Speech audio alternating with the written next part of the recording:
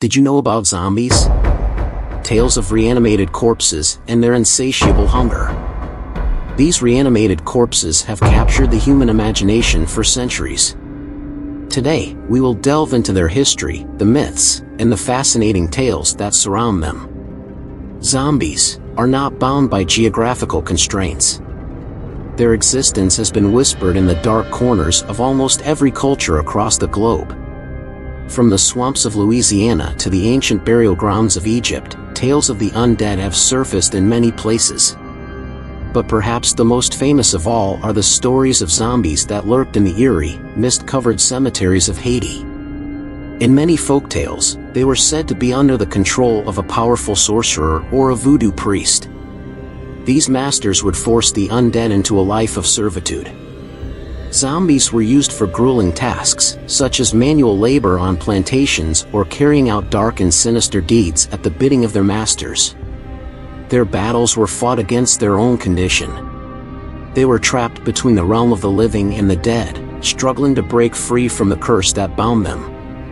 In some stories, they faced battles against other supernatural beings, but their true fight was against their own insatiable hunger for human flesh. The most defining characteristic of a zombie is their insatiable hunger for human brains or flesh. These undead creatures were driven by an uncontrollable desire to feed on the living.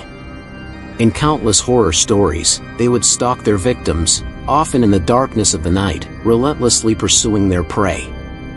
Zombies were not known for supernatural powers in the traditional sense. Their strength lay in their relentless pursuit and their ability to withstand injury that would fell a living being. However, their role in horror lore is undeniable. They have served as a symbol of the fear of death, the unknown, and the consequences of tampering with the forces of life and death. Now, the burning question remains, did zombies actually exist, or are they merely products of myth and folklore? The consensus among scholars and scientists is that there is no concrete evidence to support the existence of reanimated corpses as we know them from stories. Instead, the concept of zombies has persisted as a cultural phenomenon, a powerful metaphor for our deepest fears. And so we conclude our journey into the world of zombies. Whether they dwell in the realms of myth or reality, their tales continue to haunt our collective imagination.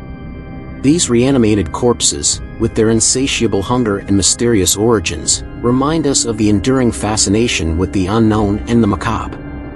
While evidence of their existence remains elusive, zombies endure as symbolic figures embodying our deepest fears and anxieties.